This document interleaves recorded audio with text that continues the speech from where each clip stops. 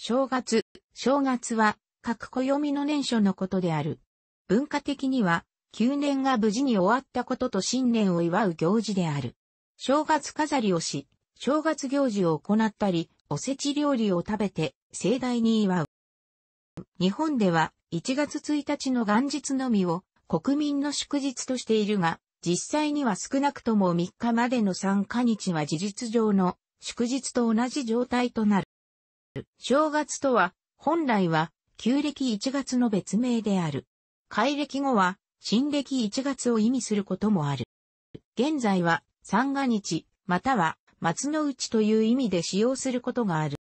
松の内は、もともとは1月15日までだったが、現在は一部地域では1月7日までに短縮している。漢文2年1月6日、江戸幕府により1月7日をもっての飾り納めが指示される。最初の通達が江戸の城下に町触れとして発せられており、それに倣った風習が徐々に関東を中心に広まったと考えられる。幕末の交渉家である北川森貞は、この時同時に詐欺帳も禁止されていることから、松の内短縮発令の理由を締め飾りを燃やす、この日祭りによる火災の予防の一環だとしている。1月20日までを正月とすることもあり、1月20日を20日、正月と呼ぶ。新暦の元日を軸とする、大正月、お正月と旧暦の15日を軸とする、小正月と呼ぶものがある。大正月はまた大年、男の正月と呼ぶのに対して、小正月を小年、女の正月というところもある。12月8日を正月ことはじめと称して、正月準備が始まる。1月1日は元日と命名された国民の祝日である。行政機関は、行政機関の休日に関する法律、昭和63年法律第91号第1条、第1項第3号の規定により、12月29日から1月3日までを休日としており、一般企業でもこれに準じることが多い。銀行などの金融機関は、銀行法施行令、昭和57年政令第40号第5条第1項、第2号の規定により、12月31日から1月3日までを ATM 等を除いて休日とすることが多く、システムメンテナンスを行うため長くなることもある。公共交通機関はこの期間中は平日であっても、休日ダイヤで運行する傾向にある。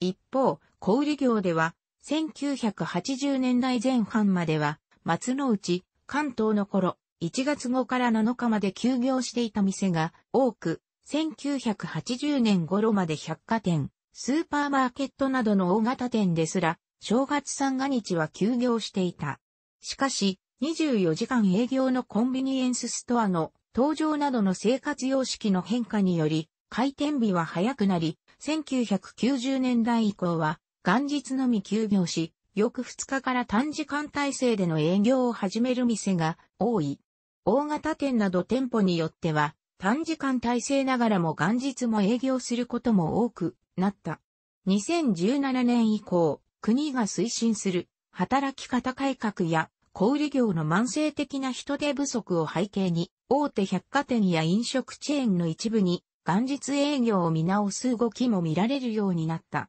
ほとんどの店舗の場合は4日頃から平常営業に戻る。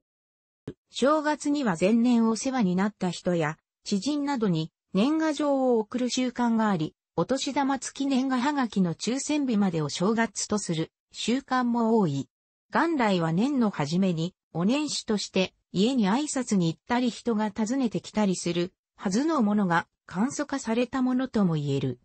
1990年代末頃から携帯電話が普及したこともあり、年賀状でなく、メールなどで済まされることが多くなってきている。また、新年最初に会った人とは、明けましておめでとう、ございますという挨拶が交わされる場合が多い。これは、英語圏のハッピーニューイヤー、ハッピーニューイヤーが主に年末に言われるのとは異なり、新年になってからでなければ言われない。年末に来年になるまで会わないだろう人とは、良いお年をという挨拶がよく交わされる。かつては夏の盆と対応して半年ごとに先祖を祀る行事であった。しかし、仏教の影響が強くなるにつれ、盆は仏教行事の裏盆会と集合して、先祖供養の行事とし、対する正月は年神を迎えてその年の豊作を祈る神祭りとして位置づけられるようになった。数え年では1月1日に年を一つ加えていたことから、正月は無事に年を重ねられたことを祝うものでもあった。万年齢を使うようになってからは、そのような意味合いはなくなっていき、単に年が変わったこと、新年を祝う行事となっている。喪に服している場合は正月を行わない風習があり、この場合、事前に喪中結礼のハガキを送った上で、年賀状を送ったり受けたりすることもなくなる。中国の正月は太陰暦の1月を指す。古代ローマでは1年は10ヶ月で、マーチが初月、 First March が正月、新年初日であった。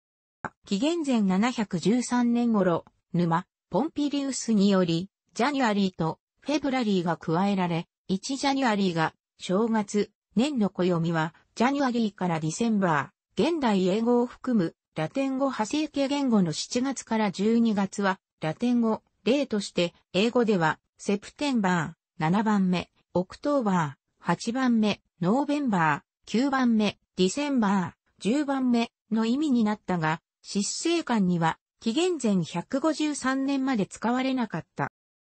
紀元前45年、ガイウス・ユリウス・カエサルがユリウス暦、閏年がないを導入、1 January がグレゴリオ暦同様、正月、新年初日になった。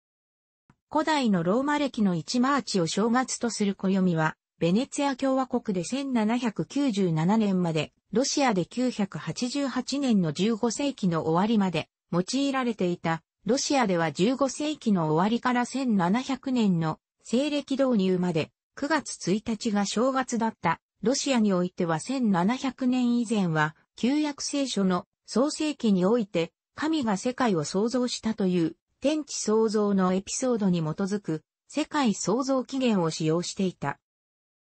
カトリック教会の天霊歴では待て公設初日が一年の始まりとされてきた。フランス教和歴1793年から1805年まで用いられたでは、秋分、通常9月22日を正月、新年初日とした。中国では、正月は、退院暦の1月を指す。日本での正月は中国では、正月初一、または、大年初一いわゆる春節である。